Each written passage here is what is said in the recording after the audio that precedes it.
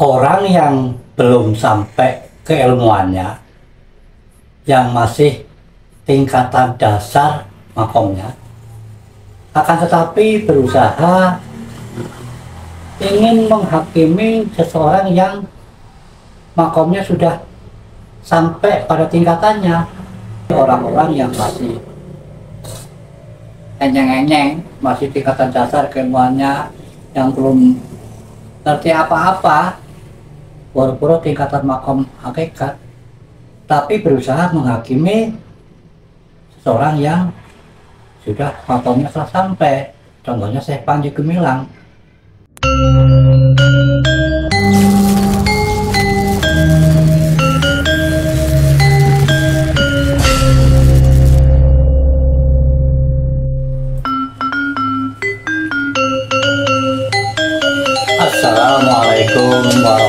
warahmatullahi wabarakatuh. Salam Rahayu dan salam sejahtera buat kita semuanya. Pada video yang lalu Simbah telah menghapus tentang alasan mengapa Simbah memberikan dukungan terhadap Syekh Panji Gumilang. Dan perkataan-perkataan dari Syekh Panji Gumilang yang selama ini menjadi kontroversi itu menurut dengan Simbah karena orang-orang yang menilai Syekh Panji Gumilang menyimpang padahal mereka belum mencapai keilmuannya sehingga tidak mengerti. Nah maka Simbah di dalam video ini bertanya orang yang belum sampai keilmuannya yang masih tingkatan dasar tapi berusaha mau menghakimi terhadap seorang yang ilmunya sudah mencapai makomnya. Coba dengan pikirkan.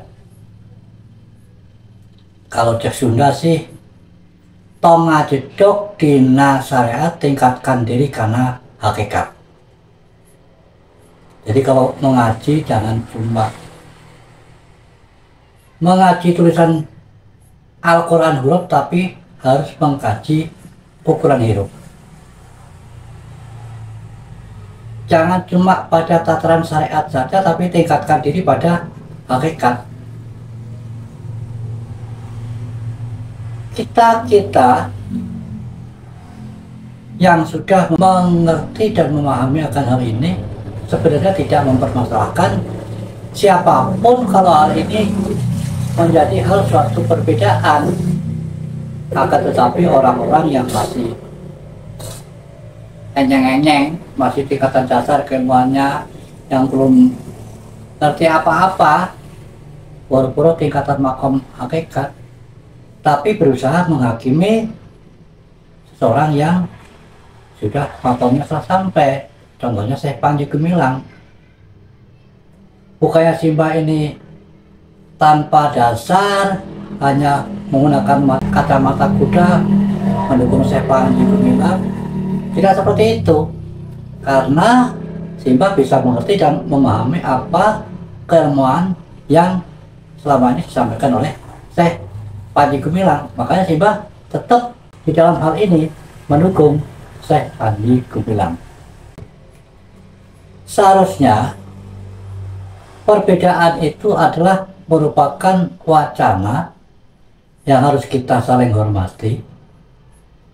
Bahkan penyanyian harus berkata sudahkah penyanyian sudah memahami ilmunya Allah yang sesungguhnya? Dengan mengatakan orang lain menyimpang, sesat dan sebagainya padahal dengan masih nol besar masih tingkatan anak TK dasar. Ya.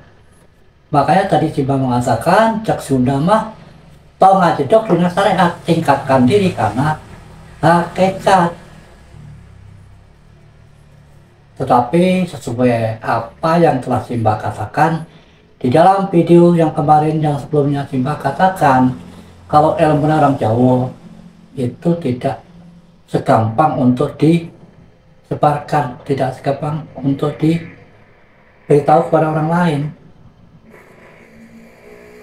Makanya Simba juga membatasi diri dalam hal ini. Dan semata-mata di sini Simba mengungkapkan alasan mengapa Simba mendukung Syekh Panji Gumilang. Dan Simba nyatakan tetap mendukung pada Syekh Panji. Karena beliau adalah tokoh yang berani membuka wawasan dan itulah yang diharapkan oleh bangsa kita bangsa Indonesia. Bagi yang penjenengan kontra seharusnya tidak memusuhi ya. Sudahlah perbedaan itu wajar. Dan sebenarnya orang-orang yang tidak memahami apa yang dilakukan oleh Syekh Panji terutama yang orang mengatakan penumpakan dan lain sebagainya. Itu karena sebenarnya panjenengan-panjenengan semua itu belum mencapai keilmuannya belum mencapai makomnya sehingga panjenengan semua belum bisa memahami. Sudah berulang kali akidah atau keyakinan seseorang itu tidak bisa dipaksakan. Dan kita juga tidak ingin memaksakan orang lain seperti kita. Ya. Jadi jangan jangan mudah mengatakan sesat, nyimpang. Padahal kita-kita juga tidak mengatakan hal itu.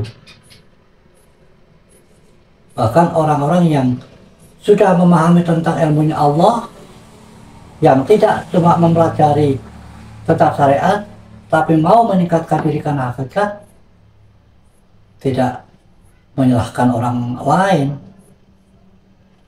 Karena bagi kami semuanya punya bagian sendiri-sendiri.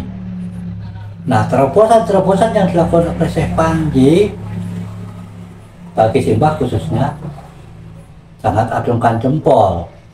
Langkahnya sudah lebih maju daripada orang yang biasa-biasa saja makanya Simbah mendukungnya. Dan seharusnya apa yang disampaikan meskipun kontroversi di kalangan masyarakat awam masyarakat pada umumnya yang Simbah katakan tadi sebenarnya palingan semua belum memahami atau belum mencapai keilmuannya. Ya tentunya jangan dikatakan saya pagi itu